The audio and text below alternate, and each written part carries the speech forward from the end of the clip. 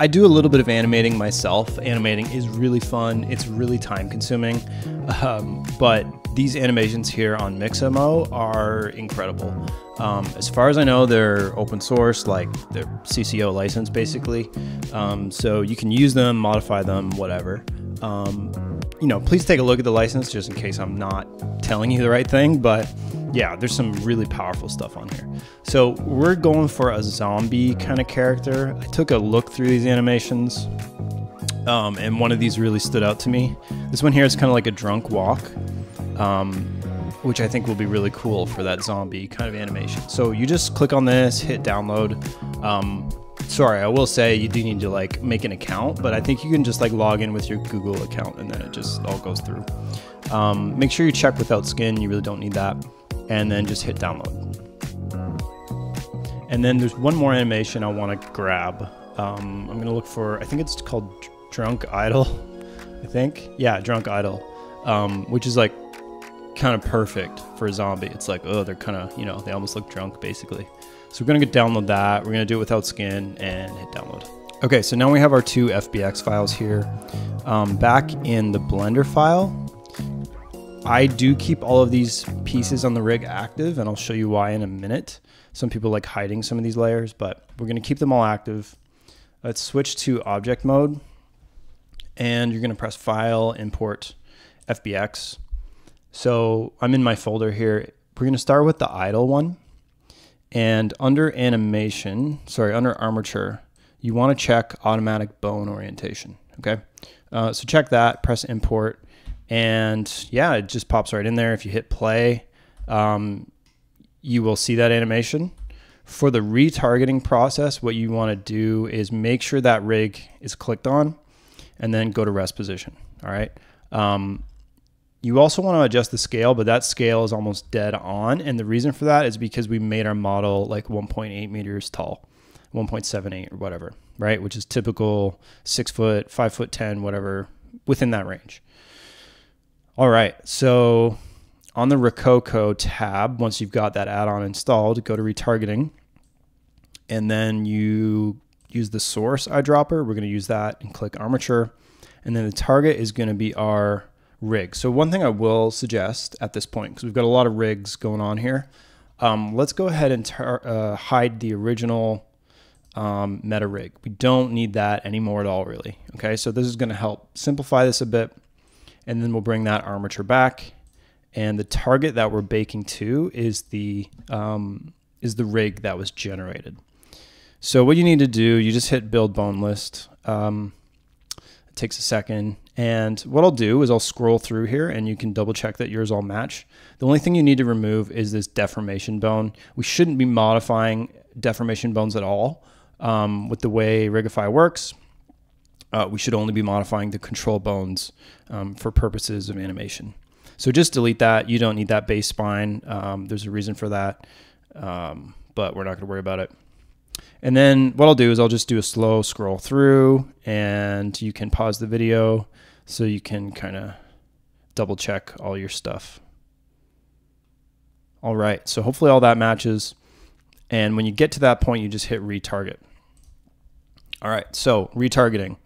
Um, that is going to place an animation on our control rig.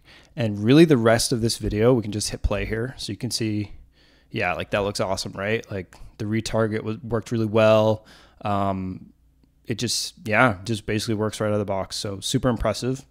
We're gonna go ahead and hide our armature. And the rest of this thing is now just dealing with Blender animations, which is a huge pain. Um, so I'm going to try to take my time and make sure I explain this as best I can. Um, our goal here is Godot, so getting everything into Godot in a good way. Um, so this workflow will probably work for other engines too. Um, but Godot has a really good integration with nonlinear animation tracks or NLA tracks they're called. So let's first go to layout and let's zoom back in here. Okay, so we're in layout. I'm gonna get my textures back and then we can see, scroll out. This is kind of the keyframes we have here. Um, I might do a couple of screens here. So we're gonna split this. And usually I like to keep the timeline here just so I can change the, the number of frames that are playing. Um, maybe there's a better way to do it, but I don't know. So on the one on the right, you're going to go to dope sheet and then action editor. So if we pan this over just a bit,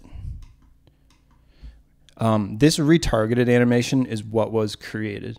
And we see it has the shield or fake user by default, which mean which is nice. So like you can't uh, lose it in case you clear it from the active action.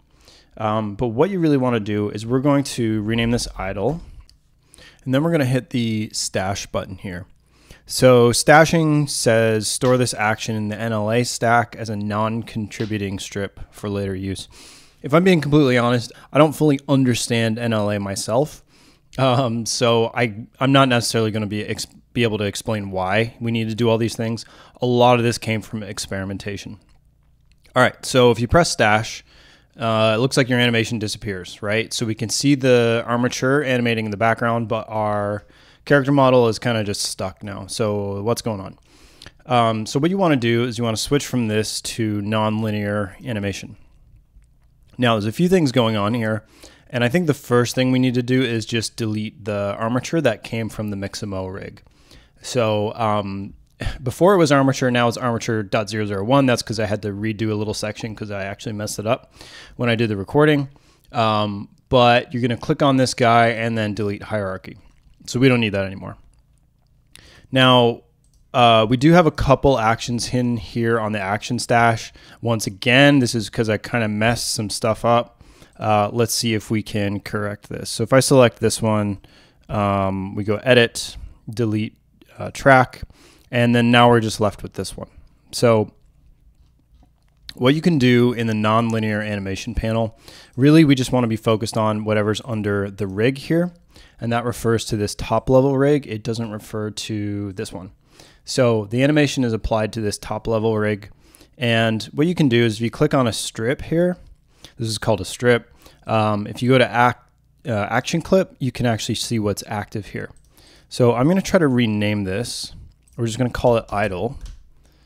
Uh, oops, we'll take out the period. I like everything to match. So I'm trying to show you how to clean this up and make it kind of perfect. So we're going to have the strip name idle. The action clip is idle. That's what we renamed from earlier. And then the action stash. I don't know why there's so many different names here, but we're just going to make everything the same name. You'll see why in a second.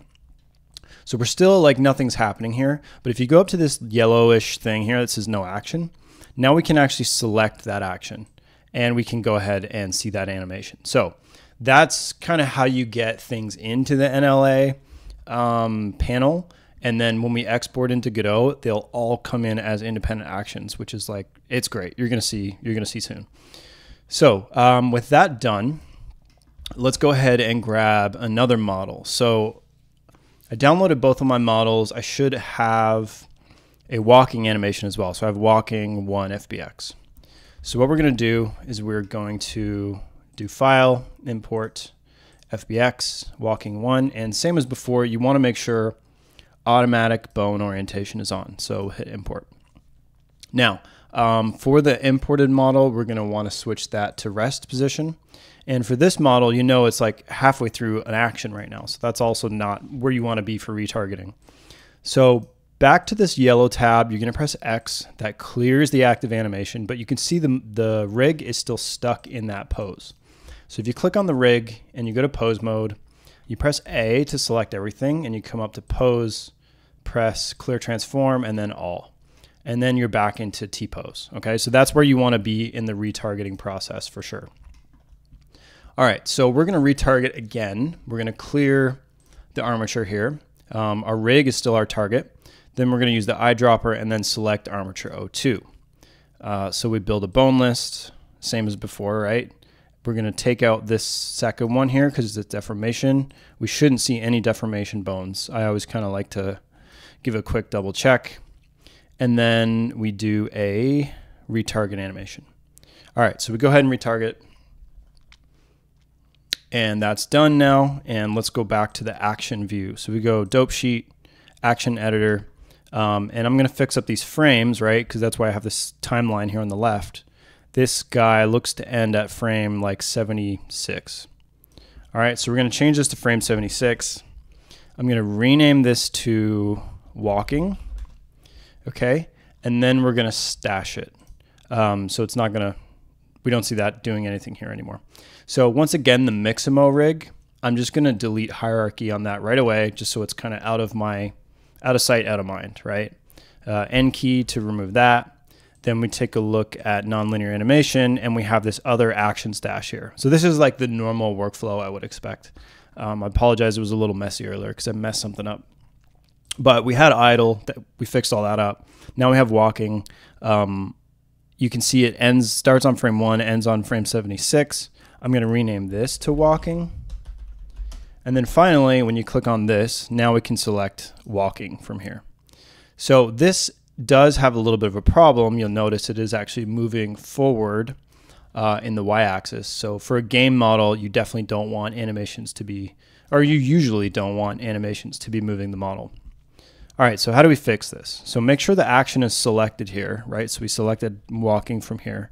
And then let's go back to dope sheet. Um, so walking is here, hit the drop down. Sometimes this doesn't appear. I don't know why. Other interesting things with Blender, you know, that I can't explain. But to fix that, if that happens, you go into tab mode, uh, select all, and then tab out, and then everything appears here. So um, that kind of, and even then, I think we picked up a couple other things. So under the root, you'll see the root just has rotation, but the torso is the next location you want to look at. Just uncheck the Y location, right? So if you uncheck Y location, then you don't get it. Now, one thing I will warn you about, like if you're here, if you make the model go to here and you uncheck Y location, it actually is going to stay stuck at that location. So you need to be careful with that. So what I would always do is scrub the animation back to frame one, go into pose mode, uh, select everything, and then we'll clear the transform right from the start, and then go back to object and then run the animation. So finally we have kind of what we were looking for, right? Um, now we have that walking animation and we can switch back and forth between these two um, easily, right? Your number of frames is not going to line up here in the timeline, um, but we have these two um, that we can easily switch between. And you can do this for any number of animations, uh, whether you bring them in from Mixamo or you create them yourself. Uh, this will this will always work. So, what I want to get to in the next video is importing this into Godot, and you'll see how uh, how seamless this is. Like it's really. I'll show you all the import settings I use, and then we'll get into the Godot side of things. All right, so thanks again for for watching this one. Uh, I hope to catch you in the next one, and this next part should be should be wrapping up the whole series, and hopefully this helps you with your with your character animating and rigging and all that fun stuff. All right, see you later.